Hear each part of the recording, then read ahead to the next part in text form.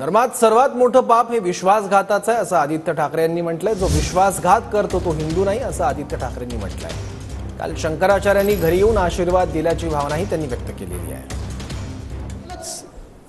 शंकराचार्यजी जे घरी आले होते उद्धव साहेबांनी आम्हाला सर्वांना आशीर्वाद दिले. काल त्यांचं दर्शन घेतलं आणि आज माझ्या विठोबाचं दर्शन घ्यायला म्हणजे जनता जनार्दनाचं दर्शन घ्यायला मी बाहेर पडलेलो आहे.